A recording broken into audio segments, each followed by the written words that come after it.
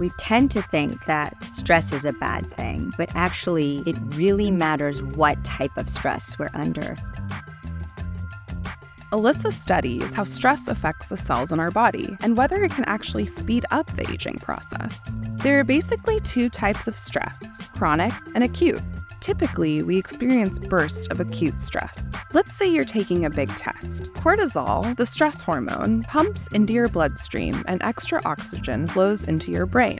Your heart beats faster and your palms get a little sweaty. Once the test is over, your cortisol levels drop and your body goes back to a more balanced state. Research has found that small amounts of acute stress is actually a good thing. During that recovery from stress, all sorts of processes happen in the cell that make us healthier. Your cells clean up debris and produce special proteins, like what happens after you exercise. This helps our cells stay young and healthy. Chronic stress, on the other hand, is a totally different story. This type of stress is ongoing, like if you're constantly worried about paying the bills. The body is in a constant state of vigilance, and this type of stress can be dangerous to your health. This video is actually part of a longer episode on how stress impacts the way that we age. It turns out that it's more complicated than you might think. We've got a link to the full episode in the description. And if you found this video useful, give us a like. It will help other people find us.